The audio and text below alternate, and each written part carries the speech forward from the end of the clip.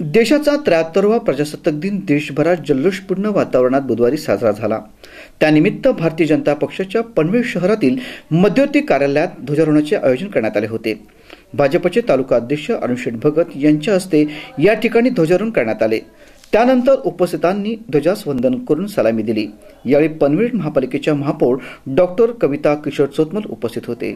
ध्वजारोहण समारंभाला भाजपचे ज्येष्ठ नेते वाय टी देशमुख पनवेश्वर अध्यक्ष जयंत पगडे तालुका सरचिटणीस राजेंद्र पाटील तालुका उपाध्यक्ष सचिन पाटील शहर सरचिटणीस अमरीश मोकल ज्येष्ठ नेते सी सी भगत पनवेल महापालिकेच्या उपमहापौर सीताताई पाटील प्रभाग समिती डच्या सभापती वृषाली वाघमारे नगरसेवक मनोहर म्हात्रे तेजस कानपिळे नगरसेविका चारशिला घरत दर्शना भुईर राजश्री वावेकर रुचिता लोंडे माजी नगराध्यक्ष संदीप पाटील पंचायत समिती सदस्य भूपेंद्र पाटील पनवेश्वर महिला मोर्चा अध्यक्ष वर्षा नाईक विजय म्हात्रे रामनाथ पाटील शिवाजी भगत महिला मोर्चाच्या लीना पाटील प्रतिभा ठाकूर ज्योती देशमाने मनीषा चिल्ले नंदा टापरे ज्योती गुप्ता गीता यादव दुर्गा पांडे शैला आंबेकर यांच्यासह पदाधिकारी कार्यकर्ते आणि मान्यवर उपस्थित होते.